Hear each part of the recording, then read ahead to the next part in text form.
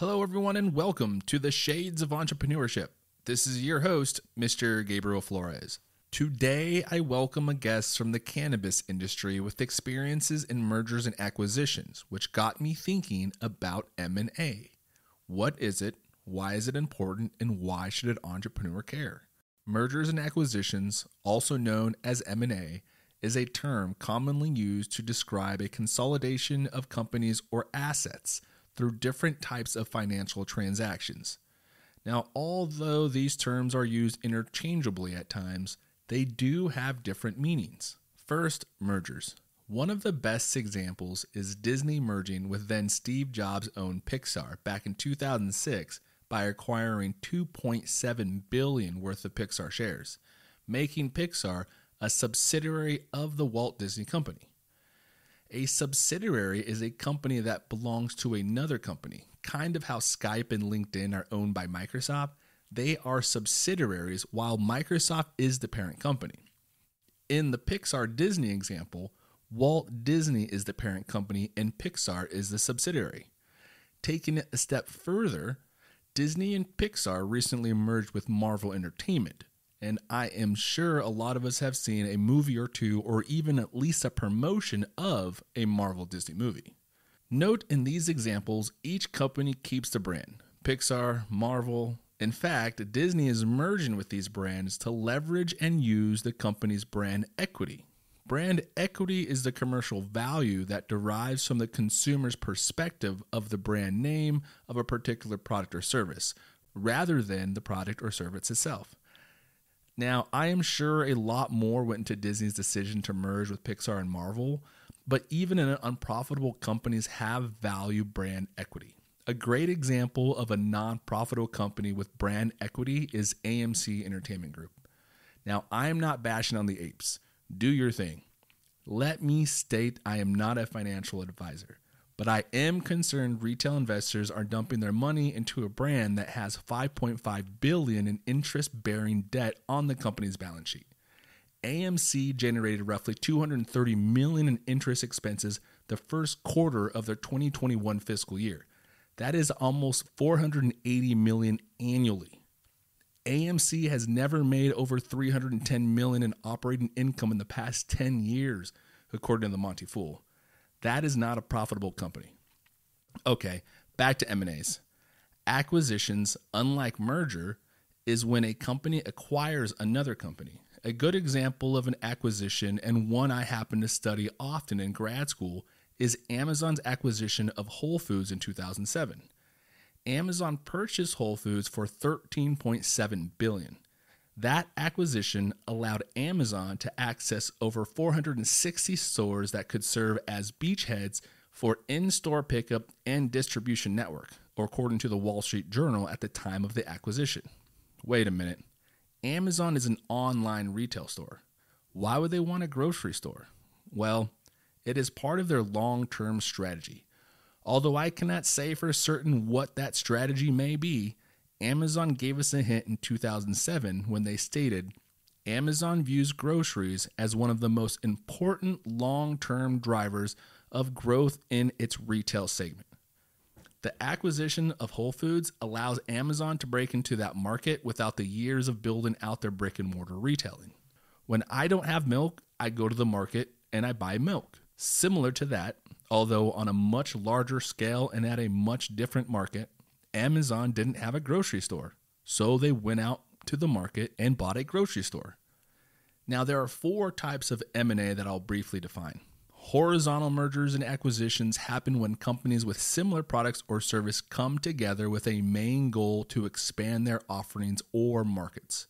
Like if Pepsi and Coke came together, that would be considered a horizontal M&A. Vertical mergers and acquisitions happen when companies in the same industry but different roles in the supply chain join forces. Amazon and Whole Food example above is a great example of vertical M&A. Conglomerate mergers and acquisitions happen when companies in different industries join their forces. Walt Disney Studios with Pixar, Lucasfilm, Disney, and Marvel is a great example of a conglomeration M&A with Walt Disney being the conglomerate and all the other companies being the subsidiary. Concentric mergers and acquisitions happen when two companies share consumer base but provide different services. An example of this is the merger between Coke and Vitamin Water. In 2007, Coke bought Vitamin Water as another option for consumers looking to purchase a non soda beverage. At that time, Coke did not have any offerings for the non soda drinking consumer. Coke was missing an entire market segment in the beverage consuming market. With the Concentric merger, Coke was able to tap into a new stream of revenue by targeting a new customer segment in the beverage market using the Vitamin Waterman product, brand, image, etc. So, why the heck is this important to an entrepreneur? Why is this even important to an individual running a podcast? Well, folks, here is the Shades of Entrepreneurship strategy, which gets to why this is important. My goal for the Shades of E is to have a network of podcasts in every state in the US highlighting their local entrepreneurs using the brand called the Shades of Entrepreneurship, which is trademarked. I want to horizontally integrate with other podcasters and creators to establish the creatively insane conglomeration podcasting, editing, video production, web design, etc. Creatively Insane LLC is the company. The Shades of Entrepreneurship, which is trademarked, is the subsidiary, the brand of Creatively Insane. Eventually, there will be other subsidies, assuming no pivots. And this is why it should be important to you too. I am not an expert in a lot of these fields web design, video production. However, I am experienced in podcasting, constructing successful strategies, establishing and maintaining business relationships. These are areas I know I am good at. Exploring M&As as an entrepreneur is a way to address areas of weaknesses. And maybe weakness is too harsh of a word. Maybe vulnerabilities is more appropriate. But I hope to find leaders who want to collaborate in those areas of expertise with me, areas I know I am not an expert in. And there you have it. That is a quick rundown of mergers and acquisitions. But don't take my word for it. Get out there, network with some entrepreneurs, and who knows, maybe you'll be talking about M&A in your future. Thank you, and I hope you enjoy this episode.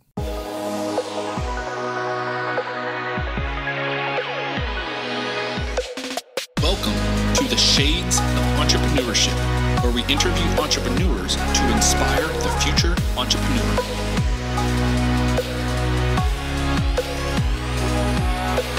I'll be your host, Mr. Gabriel Flores. So grab a drink, sit back, relax, and enjoy the show.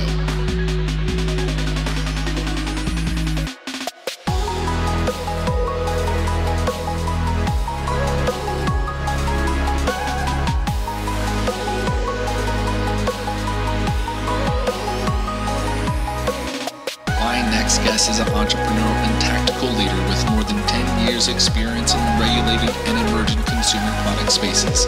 He is the current Chief Technology Officer at Unrivaled. Please welcome Colin Landforce. Hello, everyone, and welcome to the Shades of Entrepreneurship. This is your host, Mr. Gabriel Flores. Today, I have a special guest, Colin Landforce. Colin, how are you doing, my good man? I'm so well. Thank you for chasing me down so we can finally do this. Oh man, I'm excited because yes, I I will admit I chased Colin down for several months because I really wanted to talk to him. I follow this gentleman on Twitter. He has a really good if you guys don't check him out on Twitter, really good handle, really good insight. But today I really wanted to talk about unrivaled brands, but first, I really want to introduce the world to Colin. So please, Colin, introduce yourself to the listeners. You bet. Uh, you know, I'm never never very good at this. I'm a serial entrepreneur. I'm based in Portland, which I think is where uh, your podcast is generally based, and on our home community here. Um, I'm actually from Corvallis, about 90 miles south, and uh, was there until pretty much all the way through college. Been in Portland for 10 plus, maybe 11, 12 years now. Who's counting? And uh, for the last four or five years, I've been in uh, recreational cannabis. So um, today, what that looks like is is uh, retail in California, g- production, cultivation, depending on how you want to talk about it, in California and Oregon, and distribution hubs in Portland, uh, the Bay Area, and Southern California.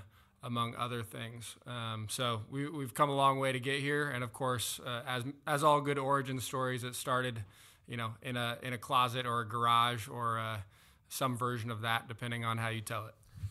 so, so for the listeners at home, you mentioned you guys are a your cannabis brand, but what exactly is Unrivaled Brands? Yeah, we're a so in the cannabis industry, the term MSO, multi-state operator is used pretty commonly uh, to describe a company that has licenses and operations in multiple states since everything is completely fragmented. Um, uh, so we are a house of brands um, and an MSO. Um, and we also are pretty focused on retail and bringing those brands directly to consumers, not just through our distribution channels. Um, we do our own distribution um, what's a good term? Pro- like it's a necessary evil for us, and we also do some some third party brands. We are not you know a logistics or 3PL focused operation. Um, it just kind of came about, and here we are. So along with our own brands, Korova, Cabana, and Sticks, we do some some key third parties that fit well into our overall portfolio. And uh, and then, like I said, big focus for us is bringing those brands directly to consumers through retail. So earlier this summer, uh, we announced, actually, I guess late fall, depending on when this is happening. We announced acquisition of Peoples. Peoples is top three by revenue uh, in the state of California retail store, and if you are in Southern California, it's arguably the most visible retail store in Southern California. So it's a massive operation, thousand thousand transactions a day, um, and uh, and we've got more people stores coming online. And so for us, it's that that entire value chain from from the seed, if you will, all the way through to the the brand experience of retail with the end consumer, and yeah. So so just for to kind of break it down, just so I'm understanding it correctly, it's kind of like from the from the growing the product to the selling of the product. Yeah, absolutely, and I think the the uh, uh, vertical integration, right, would be the would be the term, but I think. Uh, a lot of a lot of folks are doing that. We are very very heavily brand focused. So like our indoor grows that we just recently turned on um, in uh, in California are really to to supply the Korova brand primarily. Um, we are we are brand first and uh, uh, really focused on on authentic cannabis brands that have been and will continue to be part of the culture. Nice. So how did how did this concept get created? How did you start this? The origin story is uh, like all good, um, not all. The origin story is flipping packs, right? Um, I think uh, on on several ends and from every angle, the origin story is selling selling weed, and so in late medical and early recreational, that meant doing uh, doing so to dispensaries um, and and selling bulk flower, selling selling pounds. And uh, through that, we basically built out a network, knowing that if we have a network of retailers that we serve, you kind of have an opportunity to to serve them anything, if you will. And uh, and that that's where it began. Pre rolls were the first place we went in terms of CPGs, just because it's such a staple and it's such a coin toss. If a pre roll you buy in a dispensary is going to be any good, uh, I think it still is today, and it certainly was four years ago or whatever it was. And so we really leaned into pre rolls and figured out how to make really fantastic ones or perfect ones if you read our marketing material. And we've made millions of those. we, we've made millions of those since. And uh, our, our origin is, is a little bit convoluted if you back into it, right? Because about two years ago, we um, we did a merger with a, a California brand called Korova. I guess it's been two and a half years called Korova with a very similar, pretty similar origin story and footprint in California. And so uh, with with that, all of a sudden we go from just Oregon to um, to most of the West Coast and uh, scaling everything up from there. Yeah, you know it's kind of funny. Before we did this, I, I, sent you know I send my guests a list of questions like, hey, this is kind of the general summary. And I was like, hey, you know, you guys LLC, S corp, C corp. And you're like, you know what? We're beyond that let's talk about mergers and acquisitions. And I was like, yeah, let's let's talk about merge. So let's let's dive into that a little bit. What are what are some things that you learned during the merger and acquisition kind of phase that young entrepreneurs should know about it? I think it's kind of two pronged. First thing, I think integrations and uh, uh, anything of that nature are are super difficult just because of the humans involved, right? And so it's definitely a, a master ca- master class in communication um, and over communication, if you will, um, pulling pulling any project like that off. But I think that the the biggest light bulb that I think is probably underappreciated by by uh, uh, people that are interested in business or or want to start a business, and and really a lot of entrepreneurs in general, certainly me three years ago, were that there's there's a lot of ways to get into business, and there's a lot of ways to to grow business, and one of them is to go and buy them. And uh, a lot of times, it's not nearly as simple as putting down the cash. And by that, I mean I mean that in a good way, and that you don't need to have a million dollars sitting in a bank account to go buy a business for a million dollars. And that kind of opens up a whole new world, again, in terms of starting something, if you're not currently doing something now and, and want to get into X, Y, or Z, as well as uh, growing a business, right? If you want to grow from $100,000 a year to a million dollars a year, you can sell 10 times as many of your widgets. Uh, or you can acquire your way into that, or do something in the middle, which I think is probably the the um, highest leverage thing you can do, and that go and, and buy something, um, you know, maybe that gets you halfway there, but has a lot of low hanging fruit that you think you can easily um, crank up into into that mark. So. I think there's a, a, whole new world that, again, for me personally, was not on my radar three years ago, um, and and uh, is only now becoming more popular. I think a lot of what you see on Twitter, I would imagine, is is around uh, uh, acquisition of, of small of SMB, small medium businesses, and and everything around that. It's getting hot, but there's still a lot on the table. Yeah, and you know, one of the things you also mentioned was financing. You know, and going through that process because there's there's different ways you mergers mergers and acquisitions and financing. How did you start your funding? Was it grassroots? Was it venture capital? How did you go about starting your business? Yeah, we are bootstrapped from the beginning, and uh, that included a little bit of friends and family. Uh, our business at its core, especially back then, was very low margin and very cash intensive. So it was a bit of a nightmare on that front. Um, uh, it's very easy to just eat cash, even even if you're profitable. Um, when you're you're doing something that is you know 10 20% margin which like i called out uh, uh, selling bulk bulk flower is and uh, so for us, we were bootstrapped until uh, that first round of M&A that I mentioned uh, that came along with uh, some capital infusion from uh, our former CEO, uh, now board member, that, that put the deal together and brought those companies together. And then now, as of July, we are a public equity. We're traded on the OTCQX. And so, you know, again, a whole nother chapter and a whole nother frontier so that that's pretty cool. So you're now a public trading company. Yes. That is awesome. That is how did how does what's that process like? Uh, so we got there. There's a hundred ways to get there. I think we we got there through a merger with an existing cannabis company. Um, so actually, one, one of the one of the first uh, companies to to go publicly traded early on in cannabis and long before recreational. So for us, it was a a uh, stock swap, a 50-50 or like, you know, 51 point yada yada, um, a 50-50 merger um, to bring us onto the public market and into uh, their vehicle and assets and everything in between. Wow, that's cool. Now, the, the cannabis industry in itself is, is really new, right? Like it's Oregon maybe been legal what five years or something like that. Seventy, I'm not not exactly sure. So, right, how difficult has it been, you know, to start a business in an emerging market? I mean, this is a brand new market. I think ninety percent, maybe that's overstating it. Eighty percent of what we do is widgets on trucks into retail and selling them to customers. Um, that being said, that last twenty percent that is cannabis specific, cannabis specific is pretty can certainly can be pretty nuanced and intensive. So um, the the highest impact thing, especially early on, was just no access to things that most businesses take uh, take for granted, right? Like running payroll and having to do it in cash, um, or even just the the luxury of like your payroll system calculates that it should be nine hundred thirty two dollars and eighty seven cents um, versus when Paychex won't have you.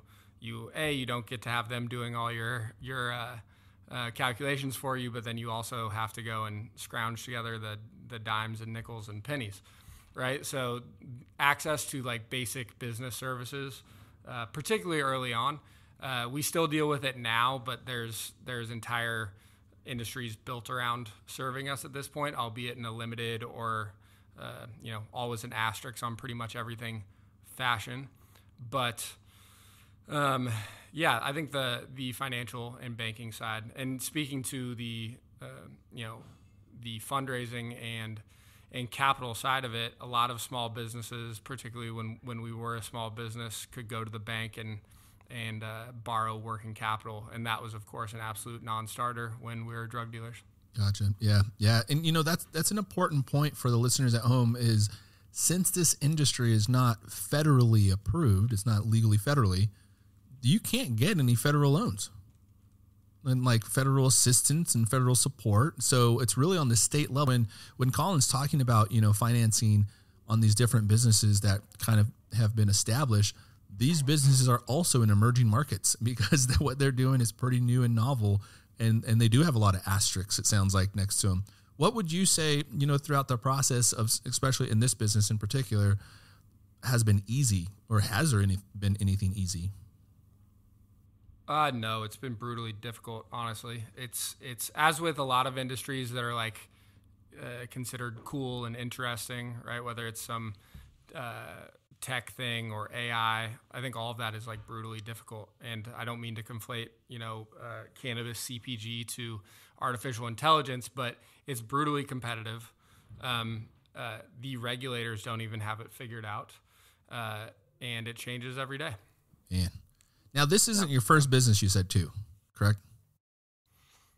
Yeah, I mean, I'm I'm kind of a lifelong serial entrepreneur and dabbler. So before I was doing what has become unrivaled, um, I was uh, on a tear doing uh, freelance consulting, like growth consulting, um, in the restricted consumer goods space. So in medical devices, skincare, firearms, uh, and uh, uh, consumer drones. Um, and I think that the common thread there is kind of like having to tiptoe around the rules, rules or work around the rules, and uh, it's kind of a perfect setup for cannabis, which of course is like a, a much more stringent set of rules, but uh, similar similar all the same, in that you can't just do the run of the mill, uh, run the run of the mill playbook by any means. Yeah, yeah, it's it's it's very novel, you know, still new. In fact, I think just recently, if if I recall, I think it was just like today or the other day they actually found a, a, field cultivating there in southern Oregon, about a hundred million dollars worth that they just randomly stumbled upon. So for your industry, is it difficult because you're still having to kind of compete against the the illegal distributors versus the legal? Um, I think there, there's a lot to unpack there. I think the biggest the biggest element of that is that if you are doing legal recreational cannabis, you are restricted to the market that you're licensed in. Whereas the illegal, the black market, the traditional market, as it's called, uh, can ship it anywhere, right? So these state uh, these states have direct control over how much supply there's going to be. They uh, they are the ones that license folks. So really, both in, in Oregon and California right now, we're uh, for the second time in Oregon and for the first time in a big way in California, we are seeing the the side effects of over licensing producers and what that does to the market because it, it absolutely floods the market with great products that can't go anywhere right? Whereas those illegal grows that you're seeing are obviously not in place to go and sell um, sell cannabis in downtown portland or otherwise. They're there to go sell sell it uh, into the rest of the country um, which which just means that the illegal folks don't have rules to play by, and the legal recreational have really rules that really cripple you from a supply demand perspective, right? Like there are there are no options for people that are sitting on a bunch of weight um, and market prices that are half what they were planned on. Wow, yeah, and, and that's that's. I'm, correct me if I'm wrong, but even though another state has legalized it, you still can't go state to state, correct? Yeah, absolutely. The the uh, obviously the tracking systems are totally independent. I think one of the trickier parts that's probably overlooked is that the compliance and things like labeling and packaging are also independent. One of the trickier parts of what we do is the the similar but different elements of all the components for all of our product lines. Um, you know, even even the exact same SKU, take a eighth of an eighth of, of Korova flower, which you can buy up and down the West Coast in Oregon and California. Um, even that, the the uh, jar isn't quite the same, the label isn't quite the same. They look pretty similar, and you may or may not notice it as a consumer. But for the uh, the back end team uh, operating the supply chain, it's it's not even close. And really, it doesn't matter how close it is if it's not the same. Yeah, interesting. It's it's, it's just it's baffling to me still that there's so many different. It's like there are different rules for every state, and it it just yeah, kind of yeah. there's no cohesion behind it. Particularly that you know each new state is probably looking at other states, but generally making it up um, as if as if other states haven't figured out some of these things, or or just figured out what was overlooked. Right, like uh, our license type, uh, especially early on, was a distribution license type or a wholesale license type rather. And when the first Oregon rules rolled out, they had a bunch of rules for retailers, they had a bunch of rules for growers and for processors and labs, and wholesalers were almost overlooked. Um, and so you have these entire like huge gaps in the rules that just nobody had really sat down and thought about the place that the wholesaler plays in the supply chain and just like if any of these things made sense, um, which of course plenty of them plenty of them didn't. But I think that's the nature of what we do, and it's it's what we signed up for ultimately. Yeah, I mean, it's like you we mentioned, you know, it's kind of an emerging market, so there's a lot of new surprises. Everybody's kind of learning as they go, kind of thing. It seems.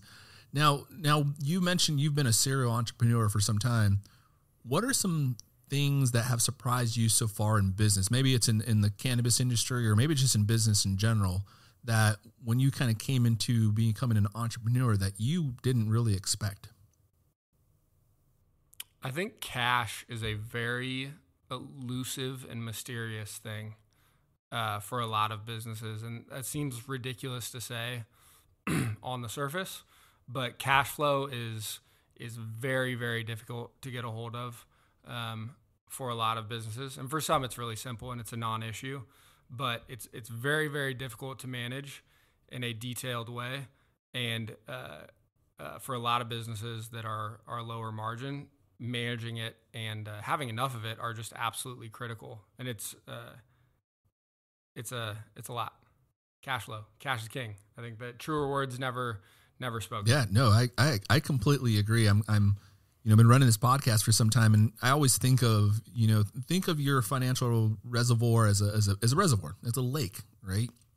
You don't want your lake to dry up. So you need to figure out different ways. How are you going to fill up that lake with different cash streams, right? How these little streams are going to trickle into your lake. And so that's what I'm also thinking like, hey, how can we continue to make revenue so we can continue to produce some amazing things, right?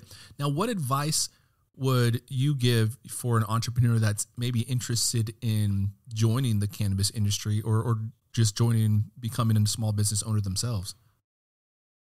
Yeah, so on the cannabis front, that's an easy one, and it is don't. And there's a there's an there's an asterisk on that, and I say that just because it's it's brutally competitive, and like most of the people that want to get into cannabis want to get into cannabis because they like cannabis, which is fine but that's not a good reason to get into a brutally competitive, you know, early stage industry that uh, that has a ton of unknown. But what I would do, uh, and I I did a thread about this, and this is the advice I pretty consistently give is there is so much room to do uh, business services services that are niched into the cannabis industry. So picks and shovels around cannabis, um, and and it's literally anything. You could be a, a contractor, you could be an electrician, a marketing agency, anything that serves a normal business niched into cannabis is a massive opportunity. And um, and there are also the folks that get paid, right? When when things are rough and you're a grower, you can't not pay the electrician, right? Otherwise, he doesn't come and get your power running. Um, and uh, so I, I, think the biggest opportunity in cannabis is for non-cannabis, tu- non-plant touching, as they say, ancillary businesses, the picks and shovels of the industry. And I don't think I'm the the first person to have that revelation. I'm sure you're familiar with the uh, the the phrase. I can't remember the exact phrase, but uh, the the gold miners did not get rich. The Levi Strauss and Wells Fargo and American Express of the world got rich, and they were there to serve those people. That's very very true. That's very true.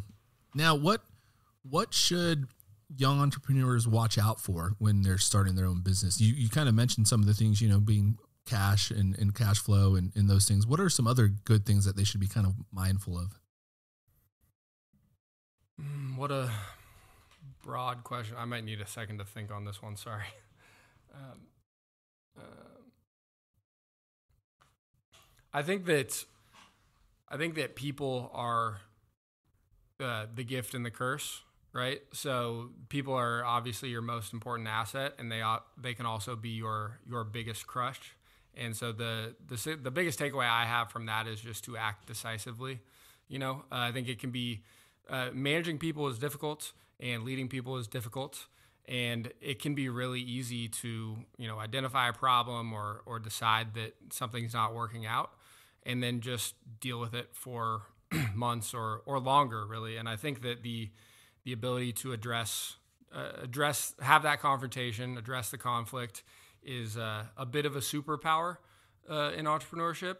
And uh, and really, if you if you boil down to it, if you're sitting there and you've got somebody that isn't a good fit for what you're trying to do, you're doing them a disservice by keeping them in it as well. So while that conversation may be painful and laying someone off or letting someone go is is never any fun, if it's not a big picture solution for everybody, you're really doing somebody a disservice by keeping them in that spot and and really uh, helping them go and find their next chapter is is the best thing for everybody. So I think I think acting with decisiveness and and candor on with with your people is is critical. And uh, yeah, you know, looking back on everything, coming back from uh, you know, living small town Oregon and up to Portland, doing unrivaled brand. What advice would you give a younger Colin? Can you say that again? Sorry. You know, I'm not really big on maybe not maybe regret isn't the word, but I think that everything that I've done to this point is like a critical part of me sitting in the chair that I'm sitting in right now and doing what I'm doing right now. So I'm not sure that I would have any d- advice because that would potentially, you know, uh, that could potentially keep me from learning something that I learned myself by experiencing it. Um, uh, that being said, I think I I study not study is probably not the right word. I read a lot of Stoicism and in, modern Stoicism and, and, Ryan Holiday's books in particular uh, after the source material. And I think ego plays a huge role in everyone's life. And um, so, that said, uh, I think that uh, figuring that out earlier would probably uh, create less pain for everybody involved and, and really figuring out how to understand that and control that. But generally speaking, I can't say that enough. Like I've I've I think on the surface wasted a lot of time or what if I had just done it this way from the beginning? Everyone's had those moments. I'm no different. Um, but I think they're just a core part of of getting from A to B. So I'm not sure that I would uh, make any recommendations to prevent them, if that makes sense. No, I like it. I actually love that answer. And in fact, that's not the first time I think I've had guests on this because I ask that question often. You know, we we are kind of our past, right? Um, you know, we have two eyes in the front, not in the back, to look towards our future, not back on our past, kind of thing. Uh, and I, I, I, like, I like, you know, the folks kind of come on here and like, you know, this it's what made me. You know, the past made me. Yeah, I mean, and it tr- it's not just a line, right? It, I mean, it it like that's the deal. That that is in fact how you become who you are and get where you're going to go. So if you didn't have it, it would just be different. Maybe no one's to say whether it'd be better or worse. It'd be different. And so if you like where you're at, then well. Yes, I like it. So so for the folks at home, how can they support unrivaled brands? How can they get the products? Where are you at in the social media world and the web pages? Let the world know where they can find some more information. Yeah, so myself personally, I'm doing the Twitter thing as you called out. So uh, Landforce, L A N D F O R C E, is my real last name, and it's also my handle on the interwebs. So at Landforce is me. And in terms of for us, so if you're in Oregon, we are all over. Well, I guess if you're in Oregon or California, we're all over the place. Um, it's pretty likely that the shop down the street has uh, our brands. Korova, Sticks, Cabana are the big brands. Uh, they we've got SKUs in every category, kind of spread out across those brands. It's probably a different podcast to talk about all the shelves that we are filling up, uh, but we're all over the place. And then uh, like we talked about, we're publicly traded, so we're not in Robinhood or Webull, unfortunately. But uh, uh, any any brokerage account, like any Schwab account, you can buy our stock, and I have no advice around that. But uh, if you like what we're doing, that is certainly a great way to uh, support us and get involved in it. I like it, and I'm I will admit I am not a financial advisor either. But get off of Robinhood. Amen. Come delete your Robinhood account. Come on, man. Get find Fidelity. Get over to Webull. Find something good for that. Let's just delete that one. man, Colin, thank you so much for your time. I really do appreciate it. Uh, I, so much good information today. Really cool brand. Really cool what you guys are doing. I'm really excited to kind of see you guys grow. Thank you for tuning in to the Shades of Entrepreneurship. For more information, please follow the Shades of E on Twitter, Instagram, Facebook, or visit theshadesofE.com.